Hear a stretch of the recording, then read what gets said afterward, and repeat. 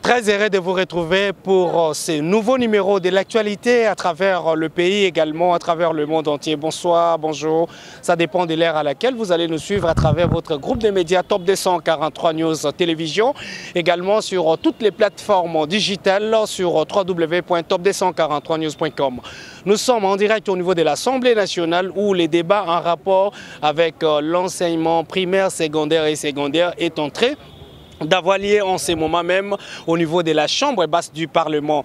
Qui sera le protagoniste devant les élus du peuple pour ce mercredi 1er décembre 2021 ben, On va trouver le, euh, le ministre national de l'enseignement, Tony Mwaba, qui va livrer son impression face aux élus nationaux. Pour ce faire, nous allons entrer au niveau de l'Assemblée nationale pour vous donner l'essentiel lors de ces débats. Également, on va prendre réellement les réactions des députés nationaux qui vont émettre leur point de vue afin que ces derniers puissent donner ou répondre à leurs attentes. Restez connectés parce qu'on va cheminer avec vous ensemble. Monsieur le Président de l'Assemblée nationale, honorables membres du bureau, honorables députés nationaux élus légitimes du peuple, au moment où nous intervenons dans le cadre de cette question orale avec débat, nous sommes sortis de Mbouela, où nous n'étions pas allés prendre de nouveaux engagements envers les banques syndicales, mais nous étions allés évaluer les degrés d'exécution des engagements pris par le gouvernement. Et je l'ai souligné, c'est au nom de la continuité de l'État qu'on assume. En 2019, à Bibois, le gouvernement de la République avait promis de payer la prime de brousse le deuxième palier, le troisième palier et la prise en charge des NU. Effectivement, vous avez suivi l'effervescence qu'il y a eu dans les écoles par rapport à ça. Et ce que le gouvernement Sama a eu à réaliser, et nous sommes sortis de là avec les accords. Tout ce que j'ai pu formuler en ce moment devant la représentation nationale, nous avons déposé les prévisions budgétaires qui tiennent compte de toutes les préoccupations du corps enseignant. Si la représentation nationale peut mettre à notre disposition les moyens conséquents, ceci nous permettra de régler définitivement les problèmes et on aura moins de problèmes à l'avenir. Mais en attendant, la signature du décret du FPN nous permet également de mobiliser des ressources extra-budgétaires pour soutenir notamment la gratuité de l'enseignement au niveau primaire. C'est là que nous avons payé la prime de la gratuité et cette prime, ce n'est que le début. Nous allons continuer à augmenter pour que, effectivement, la gratuité ne puisse pas impacter sur la qualité de l'enseignement. Monsieur le Président de l'Assemblée nationale, honorables membres du bureau, honorables députés, je voudrais ici vous remercier pour votre aimable attention. Merci. On m'a posé la question sur les zones salariales. C'est une situation que nous avons trouvée. Nous nous sommes informés. Aujourd'hui, je peux le dire ici, qu'il n'existe pas en réalité des zones salariales tous les enseignants ont les mêmes salaires, ils ont la même base salariale. Mais qu'est-ce qui varie? C'est lorsque on donne les indemnités de logement et de transport aux enseignants de Kinshasa, de Lubumbashi et d'autres de grandes villes, parce qu'il est évident que les loyers à Kinshasa, à Lubumbashi, n'ont pas les mêmes taux que les loyers dans nos territoires.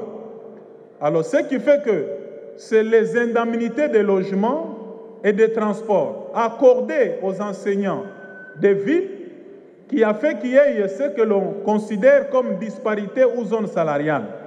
Mais en réalité, la base est la même.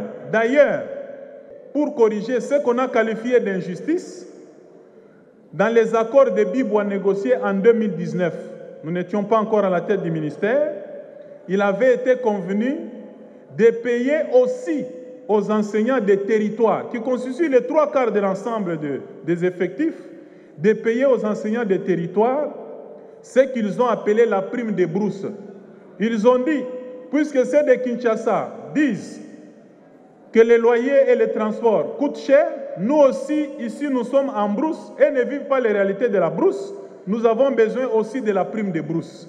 C'est comme ça qu'il a été négocié la somme de 75 000 francs à titre de prime de brousse pour compenser ce qu'on peut considérer comme disparité salariale. La gratuité de l'enseignement, c'est vrai qu'on en parle aujourd'hui. La représentation nationale m'a donné l'occasion de clarifier les choses, mais le vrai problème chez nous, on devrait plus débattre sur la qualité de l'enseignement. Parce qu'effectivement, le niveau de l'enseignement ABC, même le niveau de la qualité de l'enseignement. Alors, il y a des mécanismes que nous avons mis en place, que nous avons dégagés, des actions qui sont menées pour arriver à améliorer la qualité de l'enseignement et élever le niveau de formation de nos finalistes. La première opération, c'est la mise à la retraite des enseignants. Parce que lorsque vous gardez un enseignant qui a 65 ans, 105 ans dans une salle de classe, on ne peut pas attendre de lui qu'il donne le meilleur de lui-même. Il a déjà fait son temps, il a formé, il est temps qu'on puisse l'envoyer à la retraite. La retraite n'est pas une sanction. C'est d'ailleurs tout ce que la nation peut réserver comme une suite honorable à celui qui a rendu de beaux et loyaux services. Donc, c'est cette opération qui permet que les postes soient dégagés, encore une fois, pour que les nouvelles unités puissent être récupérées, mais aussi que l'on puisse recourir au recrutement de nouveaux enseignants, des enseignants qualifiés. Et pour donner la qualification à ces enseignants-là, parce que la qualité des enseignements en dépend,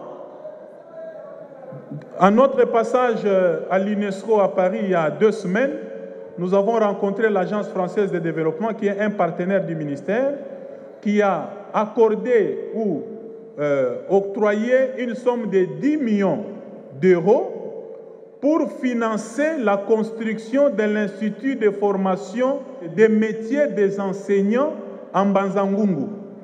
Et je crois que nous allons, et nous allons euh, poser la première pierre. Si je me souviens très exactement, les partenaires arrivent en décembre pour aller poser la première pierre en Banzangungu pour construire l'Institut de formation des maîtres, des métiers d'enseignants. Parce qu'on l'a souligné ici, les ISP sont là pour la formation des enseignants de secondaire. Mais les enseignants du primaire, il y a un problème. Il faut un institut pilote qui sera construit et pour la formation des enseignants du primaire, pour permettre effectivement au gouvernement de dupliquer ces modèles dans d'autres provinces. Merci, Monsieur le Président. Honorables membres du bureau, honorables députés nationaux élus légitimes du peuple, j'ai essayé de regrouper toutes les préoccupations enrichissantes de la représentation nationale et permettez-moi de pouvoir les rencontrer. J'ai reçu la question sur les enseignants nouvelle unité qui existent encore et qu'il faille prendre en charge. Lorsque je suis arrivé à la tête du ministère, il y a eu un signalement des enseignants nouvelle unité au niveau maternel et un lot de plus de 60 000 nouvelles unités au niveau secondaire.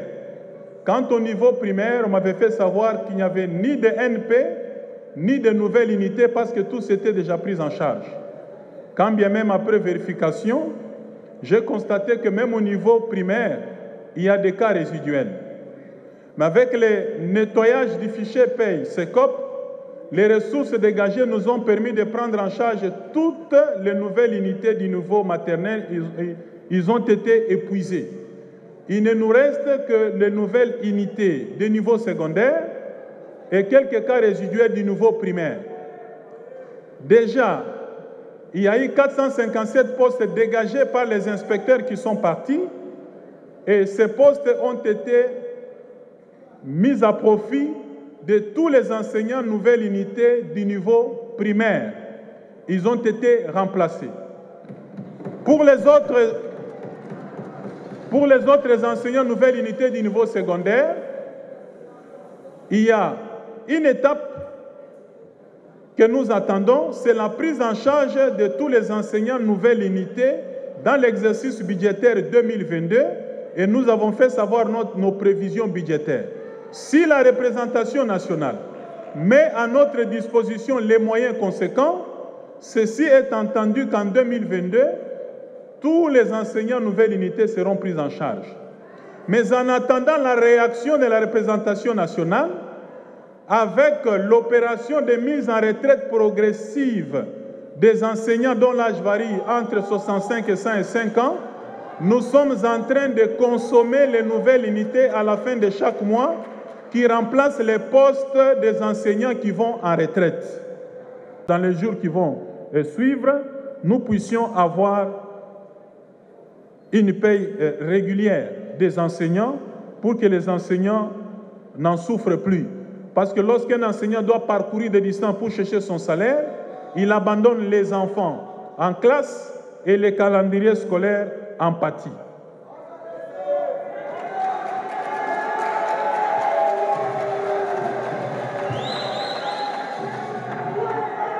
En ce qui concerne la retraite, on a posé la question s'il n'était pas possible d'échelonner, de, donner, de faire la programmation. Comme je l'ai indiqué ici, la question de la prise en, charge des, enseignants envoyés à la retraite, j'ai indiqué un effectif de 87 000 qu'il faut envoyer en retraite. Et ça faisait 35 ans qu'on n'avait jamais envoyé un enseignant à la retraite. C'est pour la première fois qu'un gouvernement a pensé envoyer un enseignant à la retraite après 35 ans. Avec quels moyens? En attendant que ceci soit pris en charge dans les budgets, parce que je suis devant l'autorité budgétaire, en attendant que l'autorité budgétaire mette à notre disposition les moyens conséquents, nous avons, avec les ressources internes du ministère, que nous avons obtenu à la suite du nettoyage du fichier paye copé, d'envoyer progressivement les enseignants à la retraite, parce que c'était des fonds qui étaient détournés toutes ces années. Mais au moins, on les a capitalisés pour régler un problème dans les secteurs. On nous a parlé des écoles désactivées. Il y a eu des écoles fictives. Il y a eu des enseignants fictifs. Il y a eu également un personnel administratif fictif. Mais il fallait prendre ses responsabilités pour retirer du fichier paye tous les fictifs. Et même certains enseignants qui œuvrent dans les secteurs privés, dans les écoles privées, mais qui ont été alignés sur les listings paye des enseignants. Il fallait les élaguer sur les listings. Et un travail a été fait là-dessus et on a désactivé les écoles fictives, on a désactivé les enseignants et les personnels fictifs. Il est possible que dans cette opération-là, au lieu de couper les herbes, on est allé couper aussi certaines fleurs. C'est comme ça que nous avons institué une commission au ministère pour examiner maintenant au cas par cas les différents recours. Il est possible que dans une circonscription, on est allé toucher une école opérationnelle qu'on a qualifiée peut-être de non viable, mais si une école est non viable, il faut seulement la reconstruire, on n'a pas besoin de la désactiver. Et avec les recours que nous sommes en train d'examiner au cas par cas, on est en train de réhabiliter des écoles ou des agents, sinon des enseignants qui ont été désactivés imprudemment. Mais pour la plupart des recours, lorsque nous les examinons, on trouve que les agents ont fait bien leur travail. Nous avions suspendu le travail de la commission à cause des mouvements qui y a eu des mouvements de grève. Mais maintenant que la situation est revenue à la normale, ce vendredi ici, cette commission va encore continuer le travail. Au fur et à mesure que la commission statue et présente les rapports, nous réhabilitons les écoles les enseignants et les personnels qui méritent d'être réhabilités. Pour le reste, nous sollicitons l'accompagnement de l'Assemblée nationale pour que les écoles fictives, les enseignants fictifs et les personnels fictifs vivent en dehors des listings payés de ces COP. C'est de cette façon-là que nous pouvons, avec les ressources dégagées, améliorer également les conditions des enseignants. les sentiments d'abord sont de joie parce que ce n'est pas facile. Vous savez combien de questions ont été déposées ici et qui moisissent jusqu'alors. Donc nous sommes très heureux du fait que la question a été programmée. Mais concernant les contenus, notre activité concernée a montré d'abord au ministre qu'il fait un travail, mais qui est dans l'inégalité surtout par rapport à nous, qui avons des enseignants chez nous avec les élèves, mais qui ne bénéficient pas des mêmes euh, avantages que les enseignants de la ville. Et de même, lorsqu'il y a les, projets, des réformes qu'on construit, on fait tout, tout se fait Kinshasa, Lubumbashi et dans les grandes villes. Or, la discrimination n'est pas permise dans notre constitution. Il fallait que les enseignants des villes soient au même pied d'égalité que nos enseignants pour permettre aussi à nos enfants de bénéficier la même éducation que ceux des enfants de la ville. Le ministre a donné des réponses adéquates à certaines questions. Là où, dans ma conclusion, je ne suis pas revenu dans ces questions, là où je suis revenu, c'est pour montrer que je n'étais pas satisfait. Mais je donne des orientations, soit par recommandation, soit par une orientation. Kosimba eza ndenge bango bakokanisa te ke toyaka mpo na makambo na biso moko to makambo ya palistade to mpo na bafamille na biso. Lokola likambo ya lelo tolobeli balakisi na bana classe. Ndenge nini balakisi? Bakoki kozala. Bazala na condition ya malamu soki mpe biteyelo partout na congo ezala ndenge moko soki kofuta bafuta bango mpe na ndenge ya malamu parceke lobi na biso eza epa na bana soki batangi lelo mabe lobi congo ekozala te omoni tokómi na depuis ntongo sikoyo eza butu eza mpo na biso moko mais pour population e mpo na congo ya lobi voilà question na biso ezalaki na boye parce que mingi makambo mingi mingi ezosalama na kinshasa lubumbashi na baville mais na intérieur même gratuité wana boye 400 000 bazofuta moto awa. Soki ofuti yango na bokungu moto soki aza licencié akobake nakende même si je consomme 200 000 200 mosusu na obombaka après 5 10 ans ekopermettre ngai nasala eloko mosusu. Mais baza koempêche bato na bazopesa bango 200 parce que baza na zamba. Et conséquence baqualifie bazokende kuna te. Bon amélioration yango ya qualité kozala ndenge nini? Eke bisika mosusu mwa makambo eza lokola na baekole wana boyoki badésactive moto azobika na mbongo salaire na ye. Bayebisi yo ke no ekole wana eza te vous voyez que ce n'est pas normal. Donc babiloko koya badésactivation wana eza biloko moko esalamaki na ndenge ya loyenge esengeli ke bakolo misolo bango. Les questions ne pouvaient être que relatives à ce qui est présenté aujourd'hui. Il est vrai qu'on a parlé des problèmes des conditions sociales des enseignants mais il faudrait savoir, j'ai demandé au ministre de nous préciser, parce qu'il a dit que la gratuité a ramené 4 millions d'élèves. Et quand on amène 4 millions, dans une salle de classe, il faut avoir tout au plus 35 élèves. Ce qui fait que 4 millions, il faut avoir au moins 114 785 salles locaux.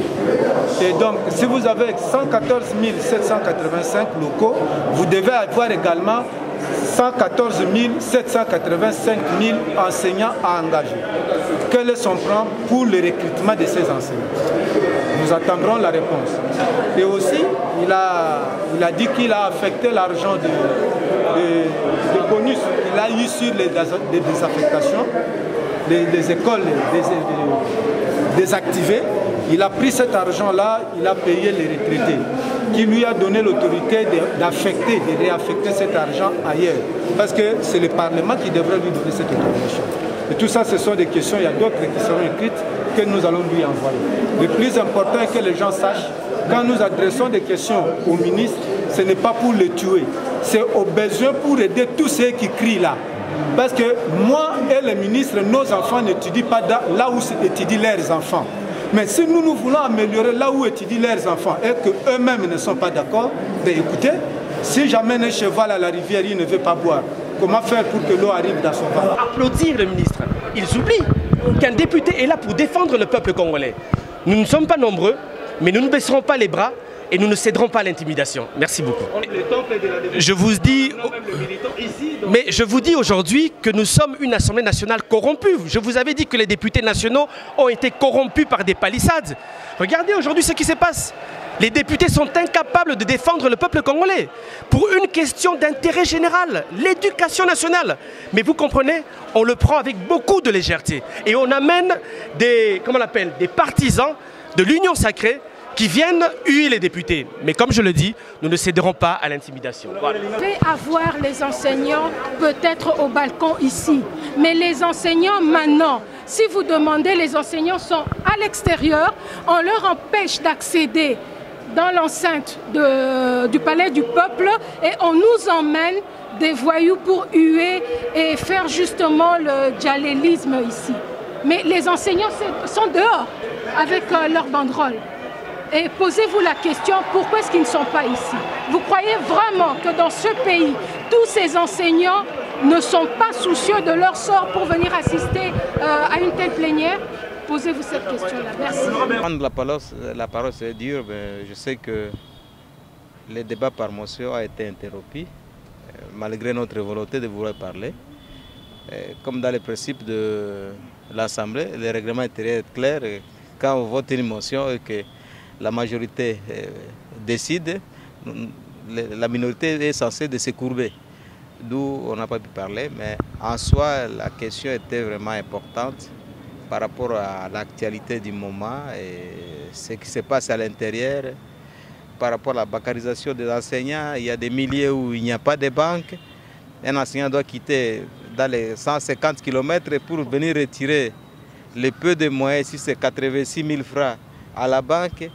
Est-ce que si on peut imaginer les tronçons qu'il parcourt, aller et retour, ça va suffire aux 86 000 francs qu'on lui a donnés? On dirait absolument non. Donc ce sont des préoccupations qu'on devait poser pour que les ministres en soi trouvent une solution palliative à cela. Euh, la question de gratuité, ça c'est une, des meilleures des choses. Comme on a dit, euh, quand vous voulez tuer un pays, il suffit seulement d'attaquer l'éducation. Le pays est mort. Inutile de mettre des bombes. Le pays est mort.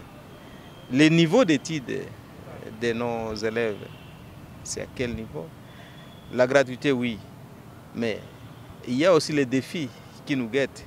Lesquels défis veut dire peut-être le nombre des élèves ce serait augmenté. Donc, dans tout ça, on doit réfléchir qu'est-ce qu'il faut faire pour sortir d'une manière propre dans, les, dans les principes de la gratuité que nous avons appuyé. Nous voulons cela parce que nous-mêmes, nous avons étudié dans la gratuité. Si nous sommes là, nous avons étudié dans de bonnes conditions, les enseignants étaient mieux payés et on nous donne les cours comme ce n'était pas les parents qui payaient nos études, c'est l'État qui payait. D'où, si on revient dans le système où l'État paye les enseignants, ce serait la meilleure des choses. Comment je digère ça? Euh, Je dirais que tous ces gens-là, que vous appelez protagonistes, que vous appelez, c'est pas militants, que vous appelez enseignants, sont nos électeurs nous avons été élus. Si nous sommes là, c'est par grâce euh, qui nous ont donné un plus, un tonus sur notre élection. C'est pourquoi nous sommes au palais du peuple. Tout le monde a droit de venir là-bas. Mais qu'à cela ne tienne, si les militaires viennent, ils ont voté. Si les enseignants viennent, ils, ont, nous ont voté. Bon, qui est-ce qu'on va refuser? Donc euh, ce débat-là, je ne sais pas entrer dedans parce que c'est tout le monde. Recommandation, je pense qu'il a le chemin à faire il a un long chemin à faire. Quand il faut faire un chemin, on commence par un pas. Et le pas qu'il a fait, il doit augmenter.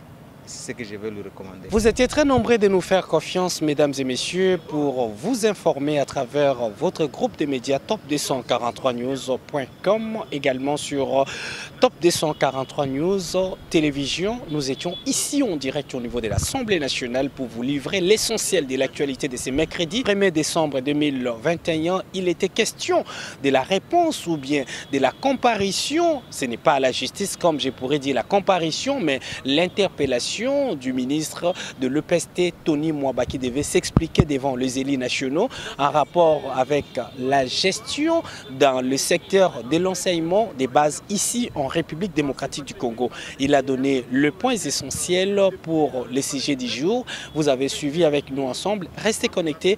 D'ici là, portez-vous bien. À nous revoir très bientôt. Mais avant de nous quitter, abonnez-vous massivement sur Top 243 News. Également, lisez-nous sur www.top243news.com.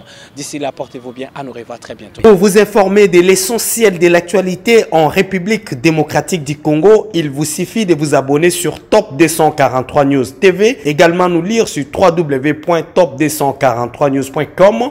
Au nom de toute la rédaction, nous vous remercions.